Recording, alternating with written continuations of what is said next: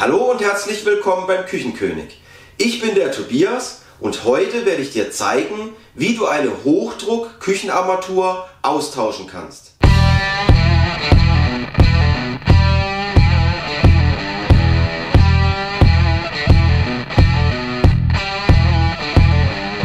Als erstes entfernen wir die Spülschranktür oder den Mülleimer-Auszug.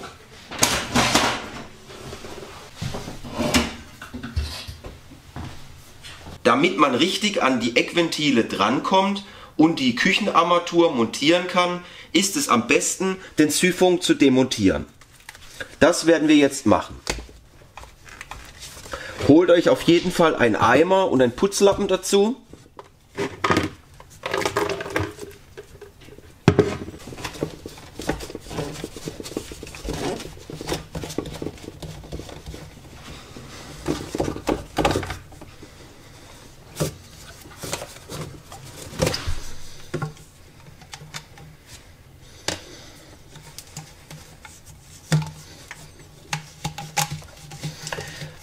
Den Schlauch vom Abwasser vom Geschirrspüler könnt ihr auch wegschrauben.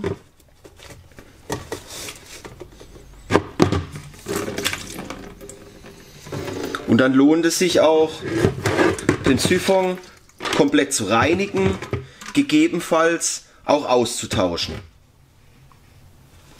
Wenn ihr den Siphon demontiert habt, reinigt und trocknet den Spülenschrank. Dann schließen wir die Eckventile nach rechts. Einmal warm, einmal das Kaltwasser. Stellt jetzt nochmal einen Eimer darunter, öffnet das Warm- und Kaltwasser, um zu überprüfen, dass die Eckventile wirklich dicht sind. Bekommst du die Eckventile nicht ganz zugedreht, sind diese wohl verkalkt und sollten getauscht werden. Schau hierzu das Video Eckventile tauschen an, bevor du weitere Schritte hier ausführst. Nachdem wir die Eckventile zugedreht haben und nochmals überprüft haben, ob diese auch wirklich dicht sind, werden wir oben die Rohrzange ansetzen und mit einem 19er Gabelschlüssel die Verschraubung nach rechts drehen.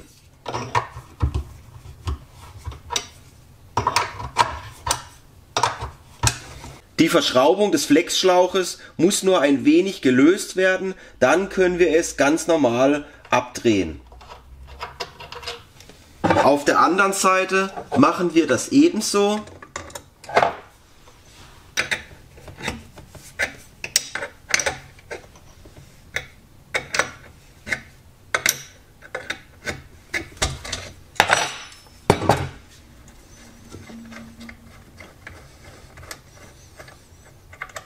Unter die Eckventile stellen wir jetzt den Eimer, öffnen einmal das Warmwasser und einmal das Kaltwasser, damit das Wasser komplett aus den Schläuchen entfernt wird.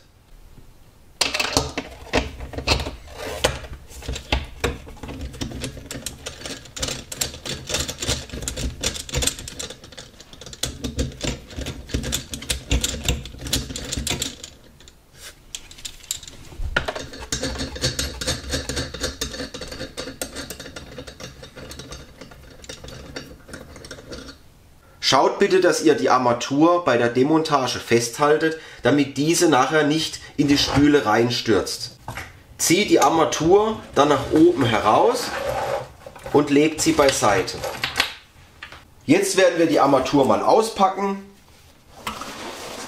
In meinem Fall haben wir hier jetzt eine Edelstahlarmatur ausgewählt.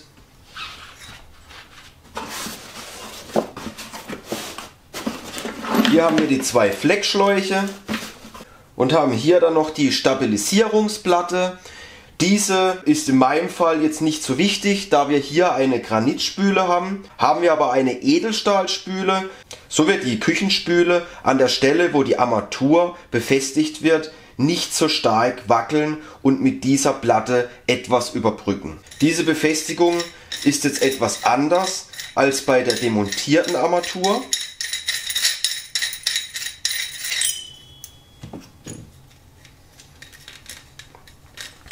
Wenn ihr die Armatur dann ins Becken reingesteckt habt, dann kommt die Stabilisierungsplatte, dann macht ihr das Gummi hin, dann kommt die Metallscheibe und zu allerletzt kommt dann die Verschraubung.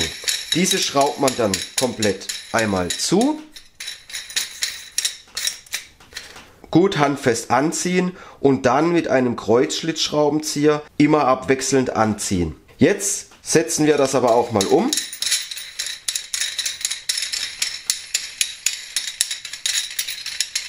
Bevor wir jetzt aber mit der Montage beginnen, werden wir erstmal die Fleckschläuche einsetzen fürs Kalt- und Warmwasser.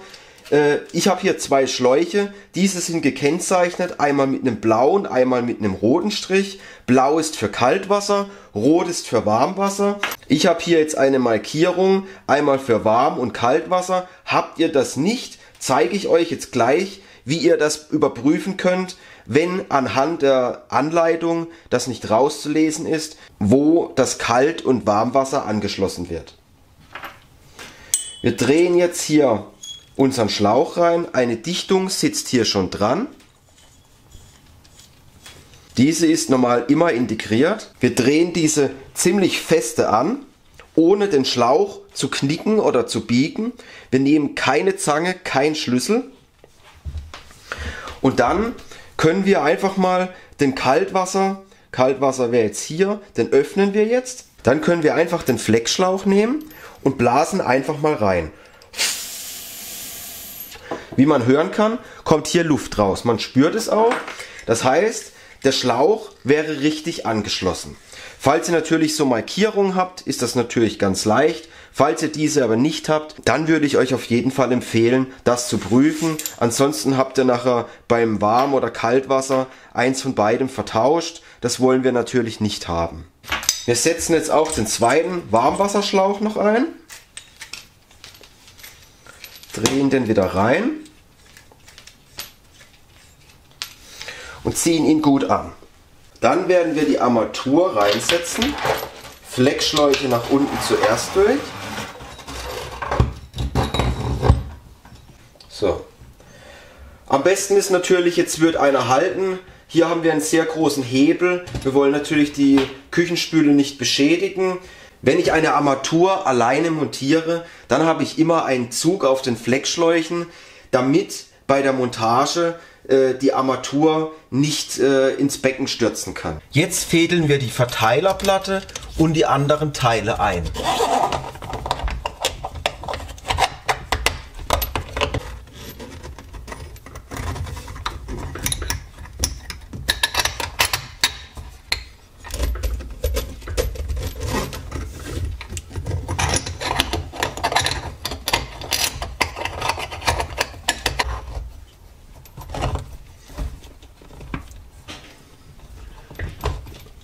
Wenn ihr Hilfe habt, kann natürlich die ganze Zeit jemand schauen, dass die Position passt.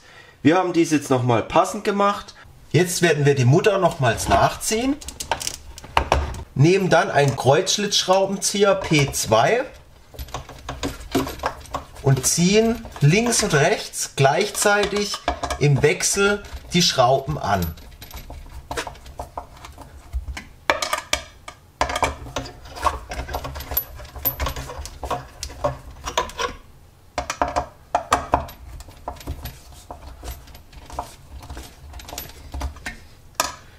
Bis diese richtig satt anliegen, drehen wir diese zu und überprüfen oben nochmal den Sitz der Armatur.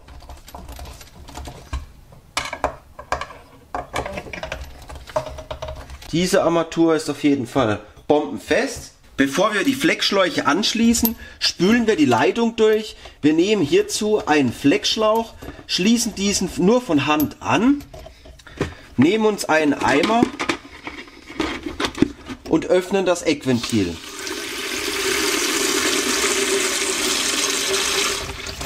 Das genügt. Auf der anderen Seite machen wir das ebenso.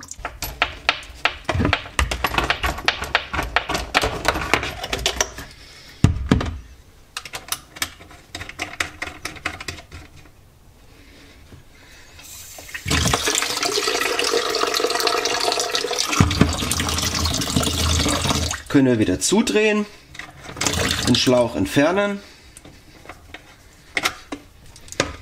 Dann kommen wir auch schon zum Wasseranschluss. Wir fangen mit dem Warmwasseranschluss an. Wenn euer Fleckschlauch ebenso lang ist wie meiner, meistens ist er zu kurz, muss verlängert werden. In meinem Fall ist er jetzt aber zu lang, weil das Eckventil sehr hoch sitzt.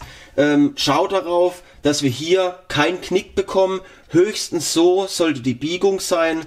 Ähm, alles andere wäre schlecht für das Geflecht und den inneren Schlauch. Ist euer Fleckschlauch zu kurz, müsst ihr diesen verlängern. Nehmt hierfür ein Verlängerungsfleckschlauch mit einem Außengewinde, das hier auf die Verschraubung passt und das andere Ende sollte natürlich ebenso wieder eine Überwurfmutter haben, wo wir direkt ans Eckventil anschließen können. Wir schrauben handfest die Fleckschläuche zusammen, umklammern die große Verschraubungsmutter und mit einem 17er Gabelschlüssel ziehen wir die Verschraubung fest.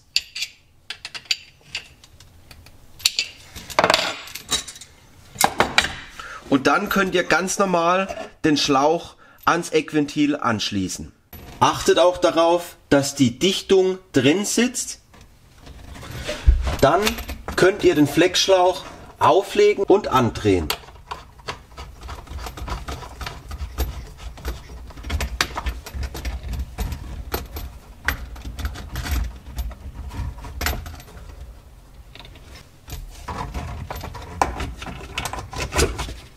Haltet jetzt das Metallteil oberhalb der Verschraubung fest, damit der Fleckschlauch sich nicht winden kann.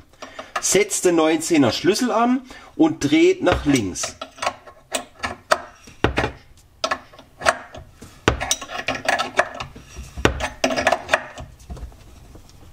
Auf der anderen Seite machen wir das ebenso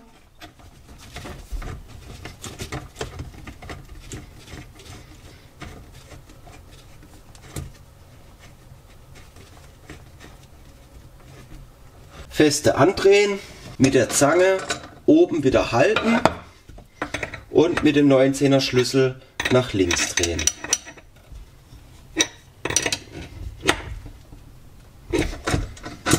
Jetzt bin ich gespannt. Wir öffnen mal das Kaltwasser.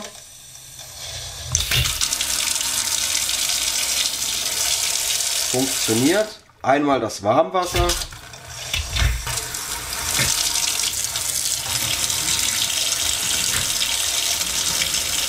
Und Warmwasser kommt ebenso. Spritzt es bei eurer Küchenarmatur zu stark, ist der Druck wohl zu hoch eingestellt. Habt ihr diesen Fall, könnt ihr natürlich das Eckventil etwas zudrehen.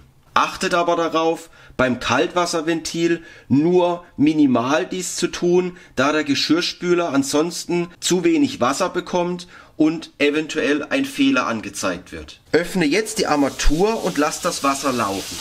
Überprüfe die ganzen Verbindungen, ob diese auch dicht sind. Selbstverständlich auch am Eckventil. Falls ihr undichte Stellen habt, löst die Verbindung nochmals und zieht diese nochmal fest.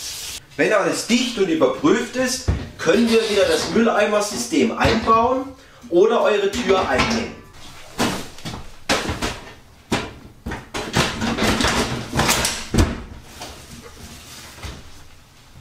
Jetzt sind wir auch schon wieder am Ende. Ich hoffe, ich konnte euch mit diesem Video weiterhelfen. Wenn es euch geholfen und gefallen hat, würde ich mich über einen Daumen nach oben sehr freuen. Abonniert und teilt meinen Kanal und seid auch das nächste Mal wieder dabei. Ich sag Tschüss, bis bald beim Küchenkönig, euer Tobias.